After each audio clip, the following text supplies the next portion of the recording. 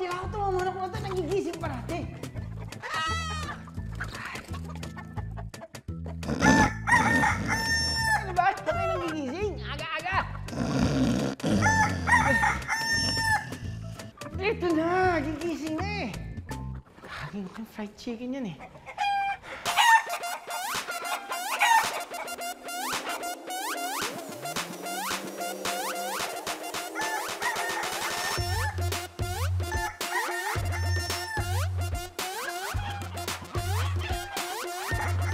Yan ang tilaok ng mga manok. Tiktilaok! Tiktilaok!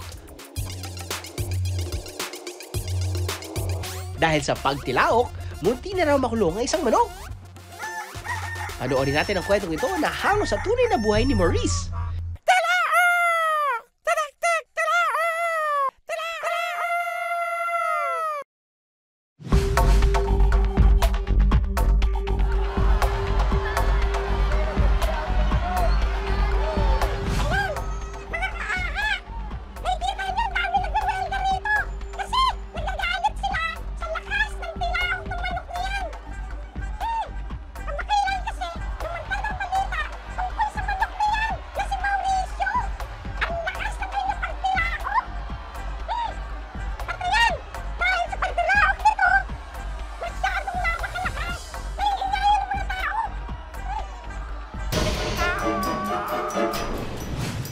Ay, alin, yung manok na yan.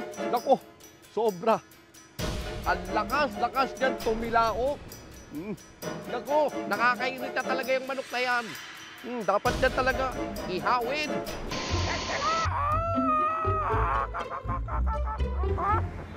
Pak, pak, pak. Ito ba si Mauricio Tandam? Apa? Tamang-tama, may nagre-reklamo sa'yo. Malakas daw kasi masyado yung tilak mo. Kumama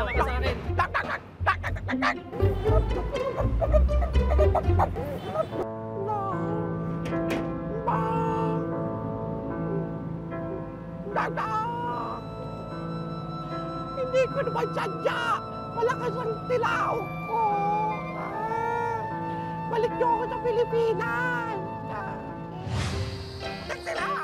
Tiktilaok! Tiktilaok!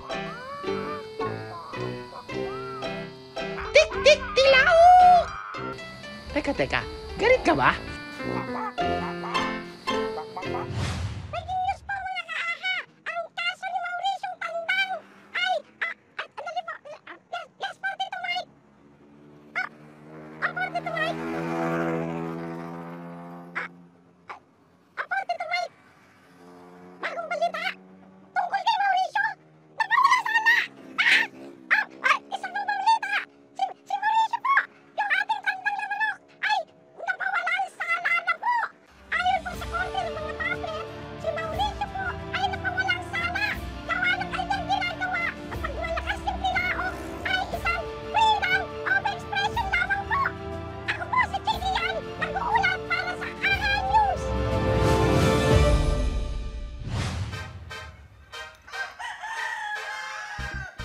Bakit nga ba tilaok ng tilaok ang mga manok?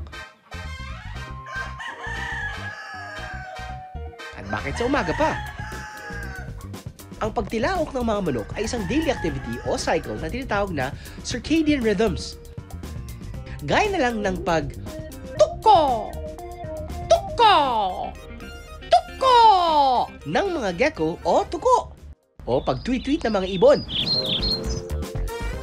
Dahil ang mga manok ay tila may internal clock na nagsisignal sa kanila ng bukang liwayway o pagsikat ng araw. Una raw na tumitilaok ang may mataas na ranggo sa lahat ng mga matandang.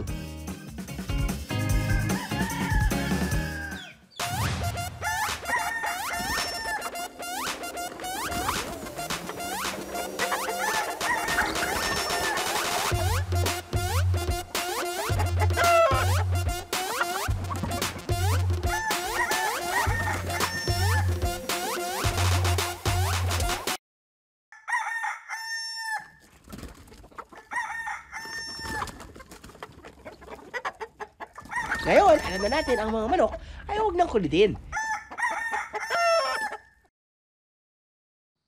Inilalabas lang nila ang gusto nilang sabihin. Kung ako ang titila ko ngayon, ang sasabihin ko sa inyo ay, Good morning!